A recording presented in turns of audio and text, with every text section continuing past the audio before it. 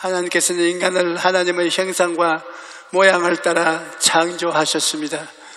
인간은 하나님보다 조금 낮은 존재로 창조하시고 하나님께서 만드신 만물을 인간이 다스리도록 하셨습니다. 그 예로 모든 동물들을 아담의 앞으로 지나가게 하셔서 아담이 그 동물들을 보고 부르는 것이 그 동물의 이름이 되었습니다.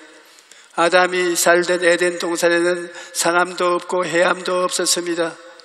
아무런 부족함이 없는 하나님 보시기에 매우 좋은 곳이었습니다. 그런데 오늘날 우리가 현실을 보면 그렇지가 않습니다.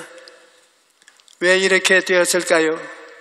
그것은 아담과 하와가 하나님의 절대 주권에 도전하는 범죄와 행위를 했기 때문에 형벌을 당하고 있는 것입니다. 어느 날 하나님께서 아담을 찾았습니다. 아담아, 아담아, 내가 어디 있느냐?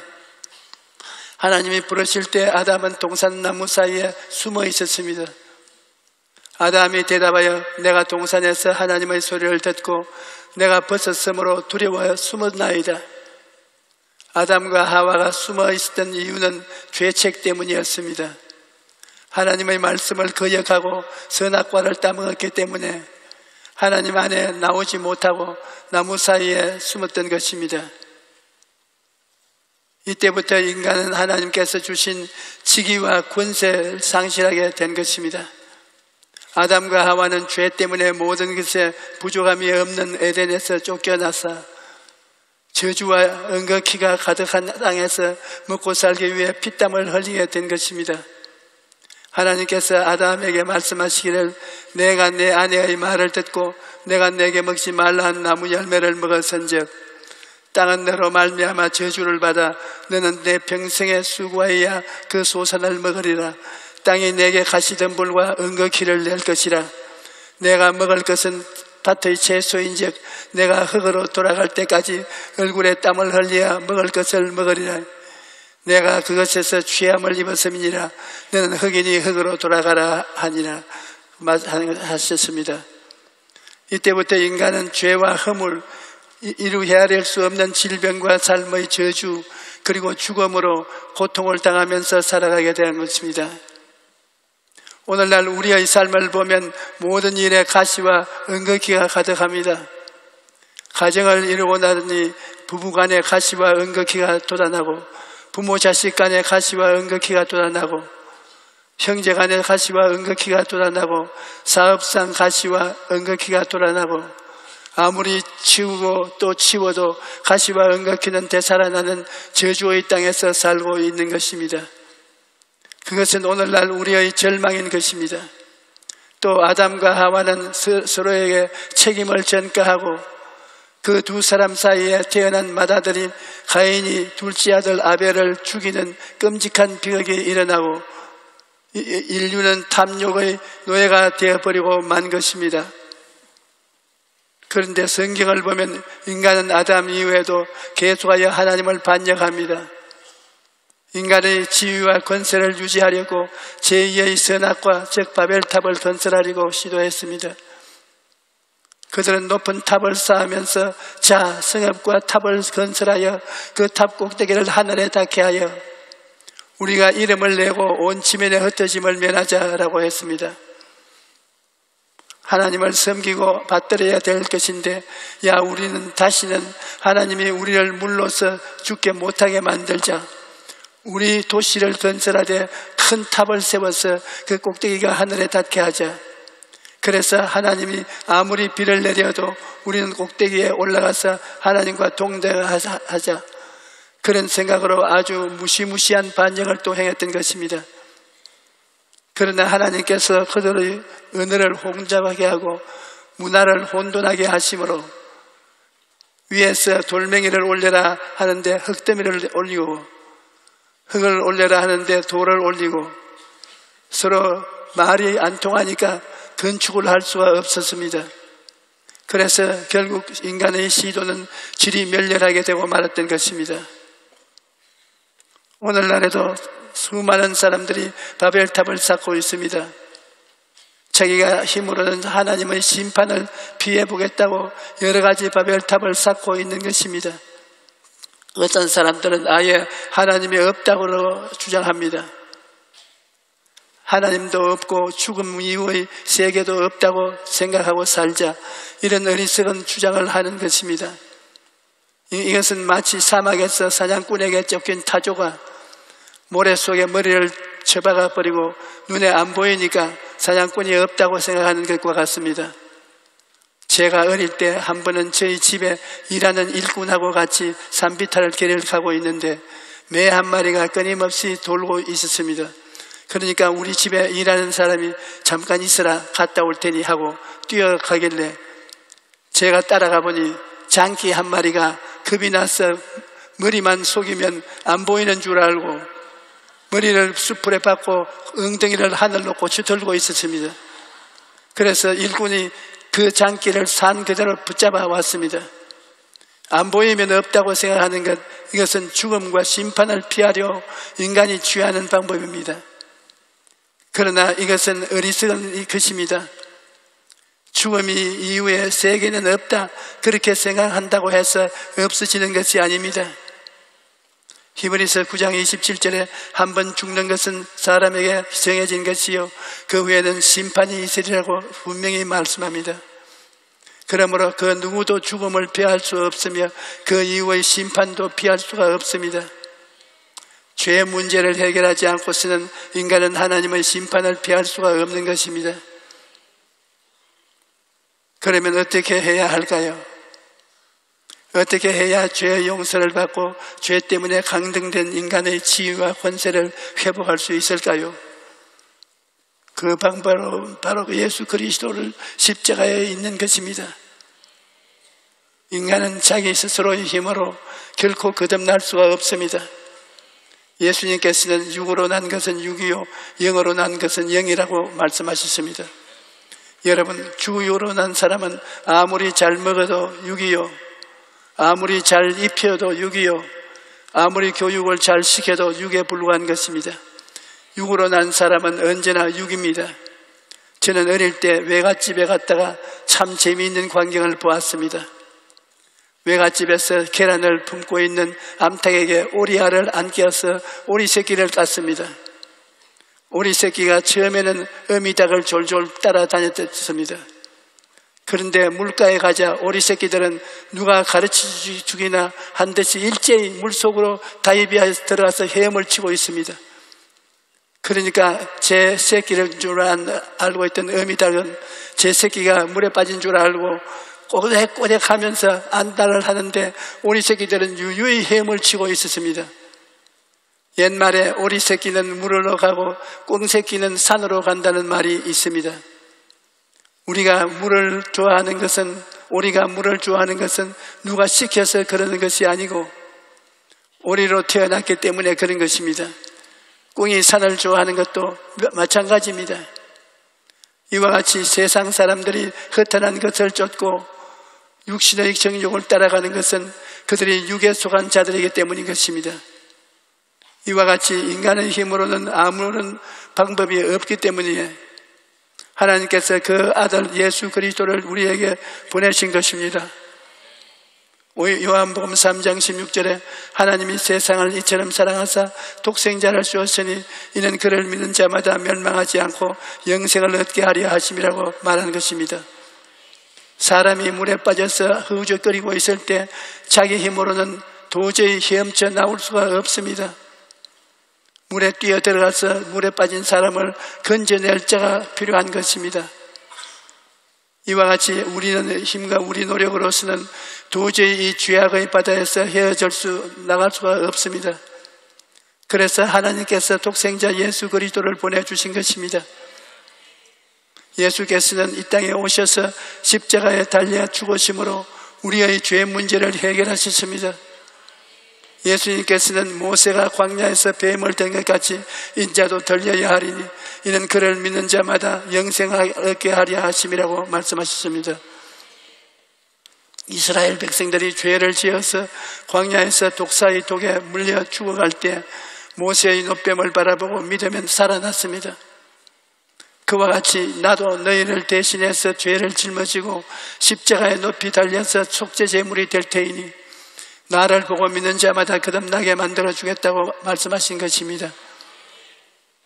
그러므로 누구든지 십자가에 달리신 예수님을 바라보고 믿으면 성령으로 거듭나서 새 사람이 되는 것입니다. 고린도후서 5장 11절에 그런즉 누구든지 그리스도 안에 있으면 새로운 피조물이라 이전 것은 지나갔으니 보라 새 것이 되었다라고 말씀합니다. 예수님을 믿고 그 성령으로 거듭나면 옛사람이 지나가고 새 사람이 되는 것입니다. 아담의 후손들은 죄 때문에 영이 죽었기 때문에 4차원의 세계를 잃어버렸습니다. 3차원의 세계 속에 있고 4차원의 세계를 알지 못합니다. 그러나 예수님을 믿고 그 성령으로 거듭나면 4차원에 속하는 것입니다. 성령께서 믿는 자에게 임하여 우리가 4차원 성령의 그릇이 되면 인간 본래의 지위와 권세를 회복하고 3차원의 물질 세계를 다스릴 수 있게 되는 것입니다. 여러분, 아담이 하나님과 올바른 관계를 갖고 있을 때는 삶에 아무런 문제도 없었고 또 있을 수도 없었습니다. 하나님께서 모든 일을 처음부터 끝까지 돌보아 주셨기 때문에 하나님의 능력에 의존해서 사는 삶에는 문제가 있을 수가 없는 것입니다. 오늘날 우리가 경험하는 모든 슬픔과 고통은 인간이 하나님을 떠난 그 시간부터 출발하는 것입니다. 하나님께서 해주실 일을 인간들이 자기 힘으로 하겠다고 하니 될 택이 없습니다. 그렇기 때문에 모든 문제는 정치적인 문제도 아니요, 경제적인 문제도 아니요, 사회적인 문제도 아니요, 근원적인 영적인 문제인 것입니다. 야담이 하나님과 영적인 교제가 끊어지고 영이 죽었을 때 인간의 모든 비극이 시작된 것입니다. 그 이후로 범사에 저주가 임했고 육체도 병들고 죽게 된 것입니다. 그러나 예수님께서 오셔서 십자가에서 몸짓고 피 흘려 주심으로 말미암아 아담의 죄로 인한 삼재 재앙을 제하시고 우리에게 삼중 축복을 주신 것입니다. 그러므로 여러분과 나는 예수님을 믿고 성령을 받았기 때문에 하나님께서 주신 지위와 권세를 회복하고 오중 보험과 삼중 축복을 누리며 살아갈 수가 있는 것입니다. 이전 아담의 자손으로서 상속받은 3대 재앙은 지나가 버렸고 이제 우리는 예수 그리스도 안에서 삼중 축복을 받은 새 사람이 된 것입니다. 그러므로 예수님을 통해서 내 자신을 바라보고 내 자신이 새롭게 된 것을 분명히 알아야 됩니다. 예수님께서 우리를 죄에서 해방시켜 주시고 우리를 저주에서 놓아 주시고 질병에서 대속해 주셨습니다. 우리는 오중 보험과 삼중 축복을 받은 사람, 전인 구원을 받은 사람이다. 이러한 진리를 가슴 속에 끌어안아야 되는 것입니다. 동남풍이 불고 서북풍이 불어도 눈에는 아무 증거 안 보이고 귀에는 아무 소리 안 들리고 너 손에 잡히는 것 없어도 이 진리를 끌어안아야 되는 것입니다. 이 진리는 저 하늘이 무너지고 이 꺼져도 변하지 않습니다. 그러므로 이 진리에 믿음을 두어야 되는 것입니다. 오늘날 많은 사람들이 예수 믿다가 시험과 환란을 당하여 넘어지고 타락하는 이유는 이러한 진리를 가슴 속에 끌어안지 않았기 때문인 것입니다. 그 다음 이러한 삼중 축복을 생각하고 꿈꾸고 믿고 말해야 합니다. 요한 3서 1장 2절을 말씀 사랑하는 자여 내 영혼이 잘됨 같이 내가 범사에 잘되고 강건하기를 내가 강구하노라. 이것이 예수님이 여러분을 바라보는 꿈인 것입니다. 예수님께서는 여러분이 영혼이 잘되음 같고 범사에 잘되고 강건하기를 원하시는 것입니다. 따라서 말씀해 보세요. 예수님은 내 영혼이 잘됨 같이 범사에 잘되고 강건하기를 원하십니다. 이러한 믿음을 절대로 놓치면 안 돼요. 이 진리를 확실히 알고 참된 자기 모습을 거울 보듯 상상해야 되는 것입니다. 여러분은 초라하고 형편없는 존재가 아닌 것입니다. 하나님의 형상과 모양대로 지음을 받았으며 환경을 다스리는 정복하는 하나님의 대행자로서 이 땅에 사는 것입니다. 히브리서 11장 1절에 믿음은 바라는 것들의 실상이라고 했는데 여러분이 뭘 바라는입니까? 영혼이 잘되고 범사에 잘되며 강건한 모습을 바라보고 그것을 믿으라는 것입니다.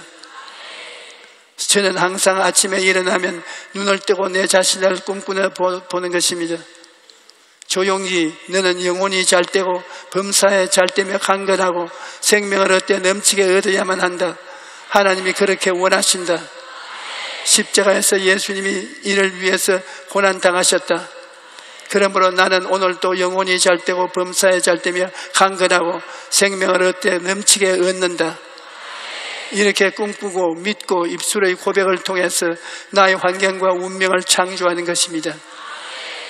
여러분도 입술의 고백이나 말을 통해서 여러분의 환경과 운명을 창조할 수 있습니다. 여러분은 예수님을 믿고 성령을 받았기 때문에 여러분의 입술의 말에는 권세가 있는 것입니다. 그렇기 때문에 하나님이 말씀하신 것으로 천지를 지으신 것처럼 여러분도 입술의 말로서 여러분의 천지를 지을 수가 있습니다. 히브리서 11장 3절에 말씀은 굉장히 의미심장한 말씀입니다. 믿음으로 모든 세계가 하나님의 말씀으로 지어진 줄 우리가 아나니 보이는 것은 나타난 것으로 말미암아 된 것이 아니라고 말한 것입니다. 우리 눈에는 보이는 세상은 태초에 하나님께서 말씀으로 있으라고 했으니 있게 된 것입니다. 보이는 것은 나타난 것으로 말미암아 된 것이 아닙니다. 보이지 않는 배주에 하나님의 말씀이 있어서 된 것입니다. 그러므로 하나님의 말씀은 천지를 창조하고 다스리는 것입니다. 또한 하나님의 말씀이 우리의 운명과 환경을 다스리는 것이요. 건강도 다스리는 것이요. 생명도 다스리는 것입니다. 그런데 그 말씀이 어디에 있습니까? 성경에 그대로 두면 역사하지 않지 않습니까? 하나님의 말씀은 누구를 통해서 일하느냐? 하나님의 형상과 모양대로 지연받은 여러분을 통해서 역사하는 것입니다. 말씀은 그대로 내버려 두면 공중에 떠다니면서 일할 것이라고 생각하면 잘못된 것입니다. 하나님의 말씀은 여러분을 통해서 역사하는 것입니다. 하나님의 말씀은 여러분 생각에 담아놓고 말씀을 통하여 꿈을 꾸고 말씀을 통해서 믿고 말씀을 통해서 말하면 하나님의 능력이 여러분을 통해서 역사하는 것입니다. 그러므로 사랑하는 자여 내 영혼이 잘됨 같이 내가 범사에 잘되고 강건하기를 내가 강구하노라. 이 하나님의 말씀을 성경에 그대로 이루어 두었으면 아무 역사가 안 일어나는 것입니다. 이 말씀이 역사하기 위해서는 여러분 생각에 채워 놓아야 되는 것입니다. 자나 깨나 여러분 생각 속에 나는 영혼이 잘됨 같이 범사에 잘되며 강건한 사람이다. 늘 그렇게 생각해야 되는 것입니다. 그 다음 영혼이 잘됨 같이 범사에 잘되며 강건한 내 모습을 꿈꿔야 하는 것입니다. 사람은 아직 눈에 안 보이는 것을 상상할 때가 늘 있습니다. 늘 일어날 것을 상상하지요. 눈 감고 생각하고 상상하고 잠자리에 들어가서 잠이 안 올 때 하나님의 축복된 말씀을 상상하면 잠이 잘 와요. 그러므로 내 영혼이 잘됨 같이 범사에 잘되며 강건하게 된 내 모습을 상상해야 합니다. 그 다음에 믿음 속에 이것을 채워 놓아야 합니다. 사랑하는 자여 내 영혼이 잘됨 같이 내가 범사에 잘되며 강건하게를 강구한다고 했으니 이것을 믿으라는 것입니다. 무엇을 믿느냐? 하나님의 말씀을 믿는 것입니다. 거짓만 하는 것을 아닙니다. 참말을 믿는 것입니다. 하나님은 인생이 아니신지라 시건치 아니하시고 인자가 아니신지라 거짓이 없으시도다. 하나님이 하신 말씀은 반드시 이루어지는 것입니다. 그 다음에는 이 말씀을 내 입술에 채워야 하는 것입니다. 사랑하는 자여 내 영혼이 잘됨 같이 내가 범사에 잘되고 강건하기를 내가 강구하노라 했으므로 나는 내 영혼이 잘된다 범사에 잘된다 나는 건강하다 입술로 선포해야 하는 것입니다. 여러분 하나님의 말씀은 저 하늘이 무너지고 이 땅에 꺼져도 1.1핵도 변하지 않습니다. 그러므로 우리는 하나님의 말씀을 끌어안아야 하는 것입니다. 말씀을 생각하고 말씀을 바라보고 말씀을 믿고 말씀을 입으로 시인해야 하는 것입니다. 그러면 하나님의 말씀이 여러분을 통해서 승리하는 것입니다. 여러분, 우리는 예수님을 믿고 중생하고 성령을 받았으니 하나님이 원래 인간에게 주신 지위와 권세를 회복한 사람이 된 것입니다. 그러므로 우리는 오중복음과 삼중 축복을 누리면서 살아갈 수가 있습니다. 오늘 오신 여러분 모두가 그런 복된 삶을 살아가기를 주님의 이름으로 축원합니다. 할렐루야.